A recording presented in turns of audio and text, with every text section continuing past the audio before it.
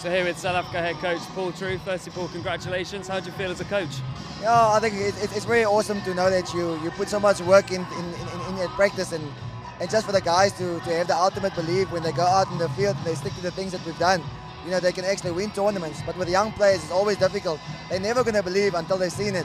So now I think this is what this is what's going to give them that belief and that almost like calmness. You know, that, they go out there, they stick to the structures, they think to the things, stick to the things that we discuss in the field. That anything is possible. Well, you mentioned, you know, the belief the players might get. It's the first cup fight, cup win that South Africa have had since Adelaide 2009.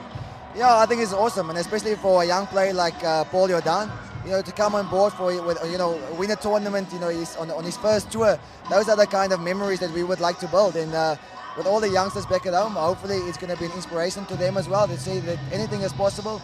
They just have to keep on working harder and uh, give themselves, you know, a go. And how important is the winning in the context of the World Series? Well, I think for us, it's uh, winning the series, and you know, winning here was awesome. It's uh, ultimately that's, that's one of our goals. But the long-term goal for us is about keep building for the Olympics. We want to be ready 2014 when it comes to the Olympic qualifying tournaments, and we're going to keep exposing the youngsters, you know, to international standards. Uh, there are a few youngsters back at home. We would like to expose them to international tournaments, and so we might see one or two of those guys, you know, back in the mix maybe for Hong Kong as well.